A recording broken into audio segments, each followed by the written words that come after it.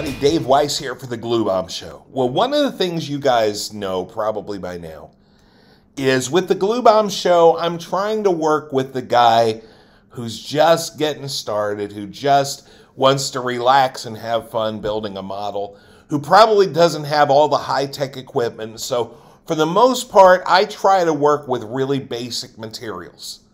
I try to work with things like Testor's glue and paint that you can get at your regular hobby store. Uh, not a lot of high tech stuff on that, other than that, you know, and, and basically that's what I do.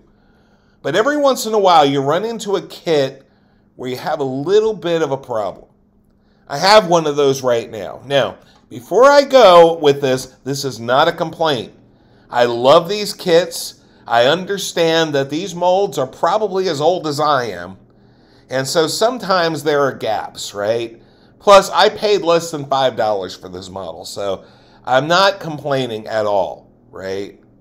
You could build this straight out of the box and have a good time with it. You'll see that in my review when we get to that point, but this is one of the Hawk Silly Surfers kits. This particular one is Hot, Hot Dogger Hanging 10. And the part that I'm showing you today is the wave. Now, this is the wave.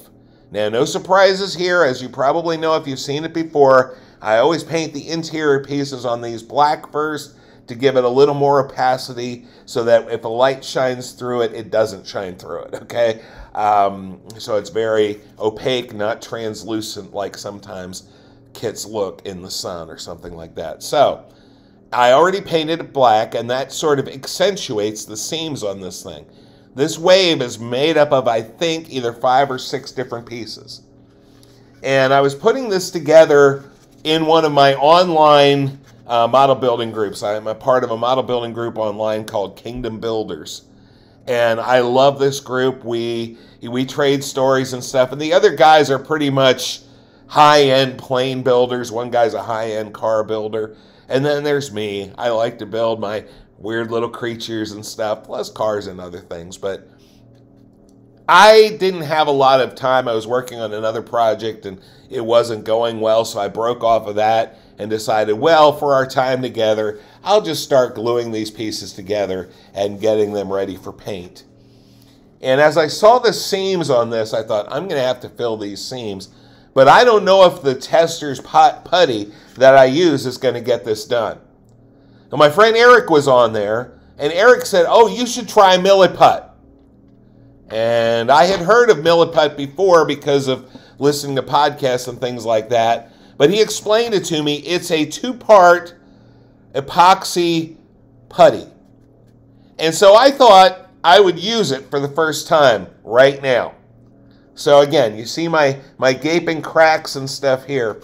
I'm going to try to fill in just one of those today. I don't have a lot of time to record, but basically, when you open the box, this box, here's what you get.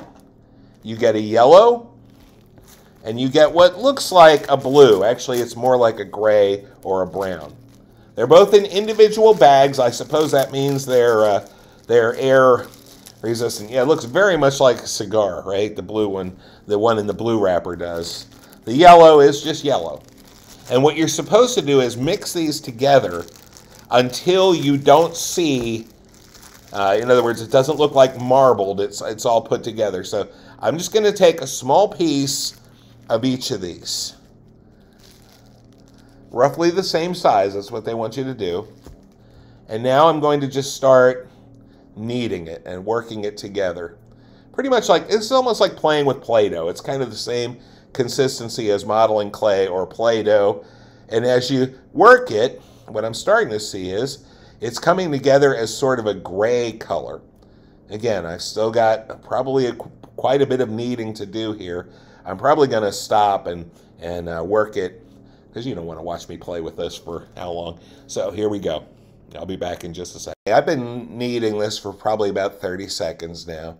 And as you can see, it's kind of a yellow-gray color when it's, when it's set. Now, what I'm going to do with this is I'm going to take a small piece of it and I'm going to sort of roll it out with my fingers here a little bit, making a nice sort of a wormy, snaky kind of thing, right? Just like playing with Play-Doh.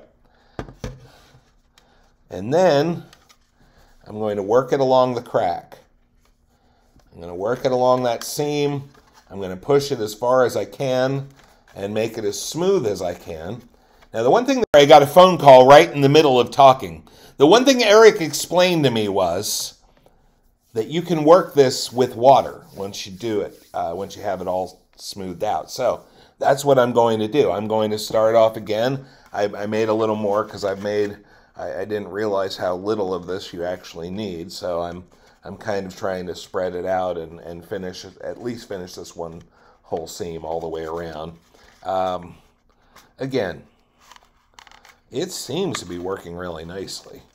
Um, I'm pretty impressed by it so far.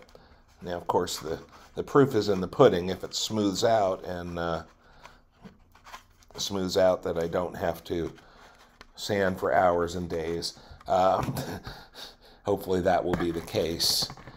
Okay. Now I'm going to just take a little more because I just, of course, didn't quite take enough. And uh, so here we have, it's all worked in.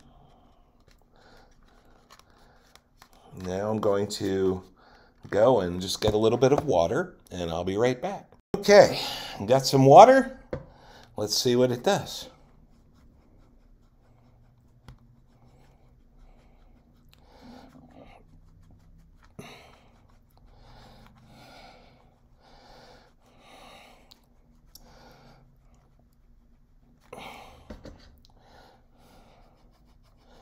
As you can probably see, the water is breaking it down and uh, and uh, it's allowing me to smooth it out. It seems to be working pretty nice. Now, as I'm looking at it, I'm realizing I probably applied it too thick. I didn't think I did, but I think I, as I'm as I'm working it over, I think I may have gone on a little too thick.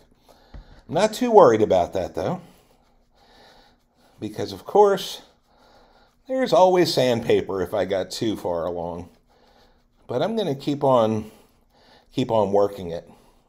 So, my first thought is so far so good. I'm pretty happy with the way it's looking. Um, again, I may have to go I may have to knock a little bit of this off with sandpaper, but overall, I think it's going pretty well. So I want to thank Eric for the tip and uh, looking forward to seeing how this looks when it's done. All right, well, that's what I have for you for now. Uh, maybe I'll give you a little update when I paint this, okay? Take care, guys. Have a good day. Remember, model building is supposed to be fun, so have fun. If you're enjoying this, please hit the subscribe button and uh, let me know what you think. All right, take care, guys. Bye bye. Hey, guys, I thought I'd add a little addendum here for you. Um, I, I think I put it on too thick. And as I started to I had a little bit more to work with, a little, a little more prepared, so I worked a little bit more into it. And it seemed like if rather than working in that little snaky thing, if you flatten it real small, real real thin, and laid it on, it seems to lay on better. So a little bit of an additional thing for you. Again, I'll give you a little update when I'm ready to put this thing into paint. But for now, have a great day. Take care.